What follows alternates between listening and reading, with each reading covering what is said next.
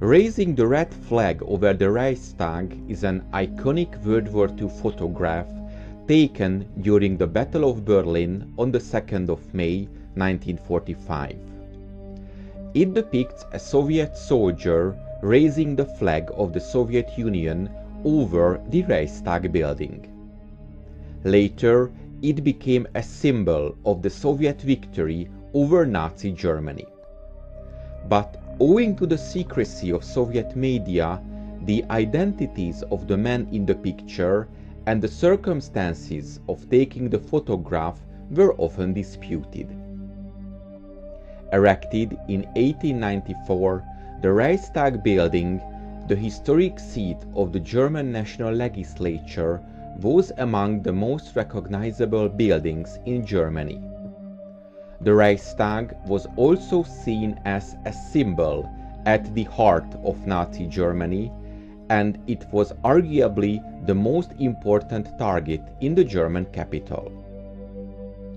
On the 30th of April, there was a great pressure from Stalin to take the building in time for the International Workers' Day, 1st of May. A number of reports had reached the Soviet headquarters that two different units might have been able to hoist a flag during the day of the 30th of April. These reports were finally received by Marshal Zhukov, who issued an announcement stating that his troops had already captured the Reichstag and hoisted a flag. However, when Soviet correspondents arrived later, they found no Soviets in the building, but rather they were pinned down outside by German machine gun fire. After fierce fighting both outside and inside the building, a flag was raised at 10:40 p.m. on the 30th of April 1945 when a young 23-year-old Kyrgyz soldier Rakimzan Koshgarbayev climbed the building and inserted a flag into the crown of the mounted female statue of Germania, symbolizing Germany. As this event happened at night, it was simply too dark to take a photograph. But the next day, this flag was taken down by the Germans. The Red Army finally gained control of the entire Reichstag building on the 2nd of May. On this day, so on the 2nd of May 1945, Yevgeny Khaldei, a Red Army officer and photographer, scaled the now pacified Reichstag to take the picture. He was carrying with him a large flag sewn from three tablecloths for this very purpose by his uncle.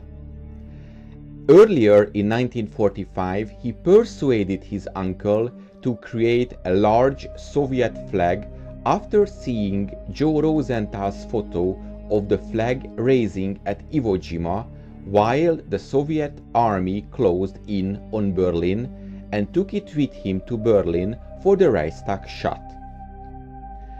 The Official story would later be that two handpicked soldiers, Meliton Kantaria, a Georgian, and Mikhail Yegorov, a Russian, raised the Soviet flag over the Reichstag and the photograph would often be used as depicting the event.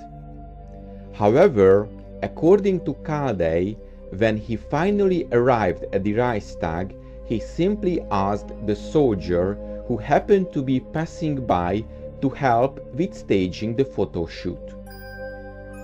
After taking this symbolic photo, Khaldei returned to Moscow.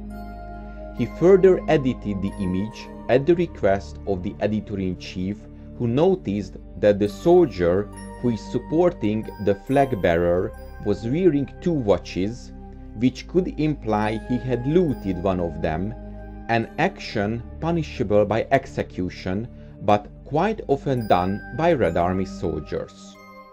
So, using a needle, Khaldei simply removed the watch from the right wrist. Later, it was claimed that this extra watch was actually an Adrianov military compass. Khaldei also added some smoke in the background, copying it from another picture to make the scene more dramatic. In accordance with the agreement with the Allies, the area of Berlin in which the Reichstag was located became the occupation zone of Great Britain. Therefore, soon, in connection with the redeployment of the formations of the Third Shock Army, the banner of victory was removed from the dome of the Reichstag. Instead, another red banner of a larger size was placed. In a report from the head of the political department of the 150th Infantry Division to the commander of the 79th Corps, it was reported that the banner of victory was removed from the Reichstag on the 5th of May 1945. But the commander of the 150th Division named May 12 as the final date of the removal of the flag. I hope you enjoyed this episode and to make sure you don't miss my future work, please make sure you're subscribed to my channel and press the bell notification button. Thank you and see you in the next video.